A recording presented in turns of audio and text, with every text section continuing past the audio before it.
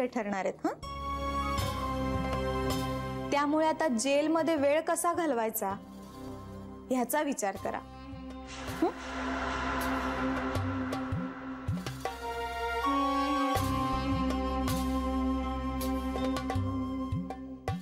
एक निरोप आहे तुमच्यासाठी सांगणार नव्हते पण सांगते.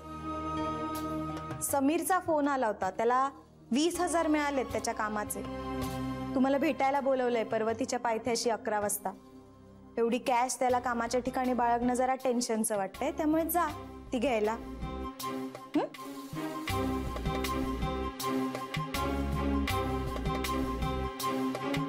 समीर मला फोन का नाही केला? वीस हजार रुपये. चला चला चला. पैसे पैसे घेऊया आधी. चला. आता काहीही काळजी करू नका हा? हो हो. या. हो. या इकडे. हं? आपलंच घर समजा या ना. हो. या या इकडे इकडे. या. आता बरं वाटतं ना शांताराम भाऊ? हो हो हो? मला जरा पाणी मिळेल? प्यायला की आंघोळ करायला? प्यायला हो. हो प्यायला. एक मिनिट. मधू हा जरा- मी मी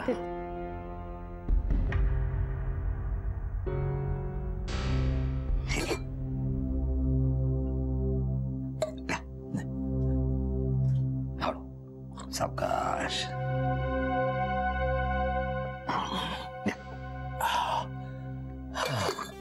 हे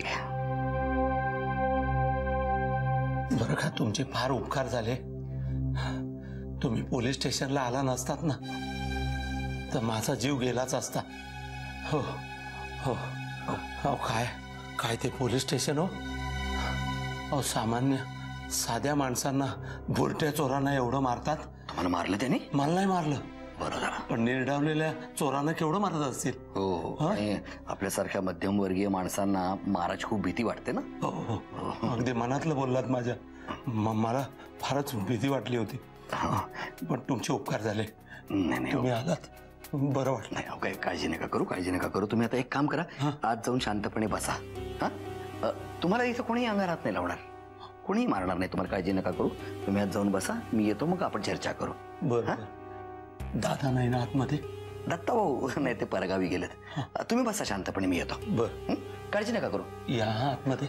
मला तुमचे आभार मानायचे आहेत. हो आलो चला.